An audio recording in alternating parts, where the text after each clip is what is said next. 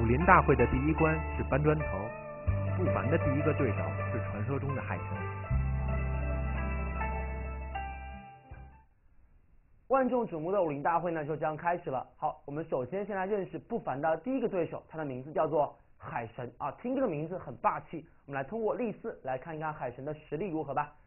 海神和不凡一起搬砖头，不凡搬的砖头呢是海神的三倍哦，看来这个海神实力不行吧？嗯，但是呢，海神觉得非常不好意思，还再努力一把。海神觉得搬的砖头太少了，于是呢，他又搬了二十四块块，又在原来的基础上多搬了二十四块吧，嗯，对吧？好，于是呢，现在不凡搬的砖头就变成了海神的两两倍。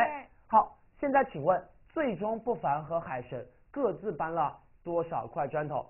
好了，读完例四之后，很多同学都想，哎，这道题我能不能用刚才之前咱们学习过的三组公式吧？嗯，那么到底有哪一组呢？咱们一组一组来看。首先，这道题是和差问题吗？不是，啊不知道和，也不知道差，差对吧？所以那是和倍吗？嗯，也不是是，，是差倍吗？也不是，也不是。所以也就是咱们刚刚学过的三组公式，一个都不能用吧？嗯，哎，有同学说老师啊，你别蒙我了，这道题跟前面的问题都不一样。这道题呢知道两个倍数，一个是三倍，一个是两倍吧。嗯所以这种题目叫做倍倍问题。那么老师肯定会教我们一个新的公式。哎，对不起，让你失望了，没有倍倍问题的公式，不要想公式了，哎，把公式从你的小脑袋里面扔掉。那不要公式，那怎么办呢？还有别的方法来解题吗？有什么方法？线段图，哎，非常好，你看梦玲学的多么好。除了公式之外，咱们还有线段图吧？嗯好了，咱们来一起画一画这道题的线段图。首先很明显，先画比较少的那个人吧。是谁？嗯，海神，？海神吧。那么咱们画出一条线段，这条线段表示海神原来搬这么多吧？嗯，原来搬这么多。那么原来不凡是大概几倍呢？三倍，三倍，所以咱们画出三条线段，表示不凡所搬的砖头吧。嗯所以海神一段，不凡是三段，三段，能不能理解？能，然后呢，海神又在原来的基础上多搬了二十24四块吧，对吧？这段是二十四块，然后不凡就变成了海神的两倍，两倍，对吧？嗯好，现在图全部都画完了吧？那么下面我们就要根据图来进行解题。来看一下老师这条虚线，这条虚线起了一个什么作用？诺林，你知道吗？嗯，他把不凡的三段一分为二，非常好，那么就表示这条虚线作用是把不凡一分为二吧？嗯，不凡咱们讲了一共是三三段段，三段一分为二怎么分呢？你看，给左边一段，对吧？是，给右边也是一整段吧？嗯，左边一整段，右边一整段，那么中间这段怎么分呢？给左边一半半段，给右边也是半段吧？嗯，对吧？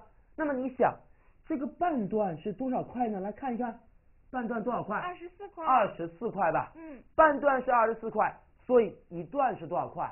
四十八块，非常好，这是二十四，那后面这个一半也是二十四吧？嗯，所以整个一段就应该是二十四乘二，应该是四十四十八块，对吧？嗯好了，那么一段是四十八块有了，那下面就简单了，不凡一共是几段呢？三段，三段，一段是四十八块，那么三段就应该是四十八乘三等于一100四十四块，四十四块吧？嗯，对吧？不凡是一百四十四块，那么海神最终一共搬了多少块呢？应该是有四十八加上二十四，二十四的，非常好，四十八加二十四等于七十二块，七十二块。所以这道题来观察一下题目，我们没有总结出来有关于大家所说的这种倍倍问题的公式，对吧？嗯没有倍倍问题的公式。这道题的解题，咱们完全是用什么来解的呢？线段图吧，对吧？咱们画出线段图，找出这道题中隐藏的一个条件吧。是，什么是隐藏条件？就是二十四块是半段，对吧？嗯所以一段就应该是四十八，块，对不对？对好了，来看一下老师的整个详细的解题过程。一份砖头是四十八个，那么不凡搬了一百四十四个，海神搬了七十二个，最后还是一样，不要忘记答题吧。好了，那么这道题讲完之后呢，哎，还没有结束，老师要通过这道题给大家总结一下我们平时应该怎么样去画线段图，因为通过这道题，相信很多同学都能感受到线段图确实是非常非常重要吧，嗯，对吧？好了，我们来看一下怎么样画线段图。首先，第一次咱们画线段图，首先要写量吧，是比，如说咱们前面要写上海神，下面要写上不凡吧。嗯，你要知道哪条线段表示的什么量，先把量写下来，然后呢叫做画图，就是画线段吧。是，画完线段之后要标数，题目中有什么数全部标在图上吧，嗯，帮助你今后进行分析。但是一定要注意，你千万得标对了吧，嗯，对吧？不要张冠李戴，标错了。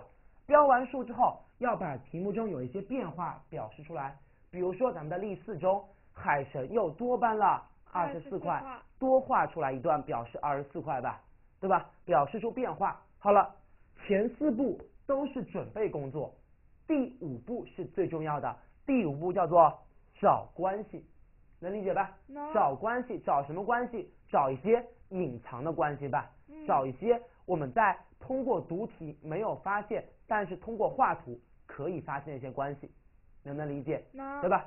所以前四步都是准备活动，关键就是为了第五步找关系吧。嗯，明白了没有？听明白了好了，学习完例四以及画线段图的基本步骤之后，来听听老师的独门秘诀。